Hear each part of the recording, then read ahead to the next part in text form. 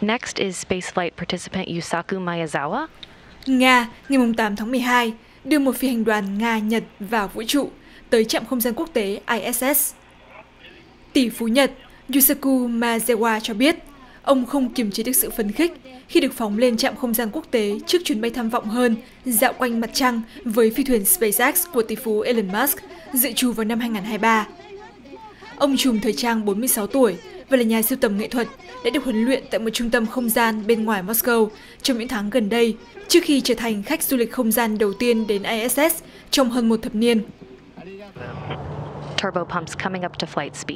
Ông Maezawa đi trên phi thuyền Soyuz được phóng từ trung tâm vũ trụ Baikonur tại Kazakhstan ngày 8 tháng 12 cùng với phụ tá Yuzo Hirano, người giúp ghi chép lại cuộc hành trình, và phi hành gia người Nga Alexander Mirskin. Ông Maezawa là người Nhật đầu tiên lên không gian trong tư cách cá nhân kể từ khi ký giả truyền hình Toyohiro Akiyama thăm trạm không gian Mir vào năm 1990.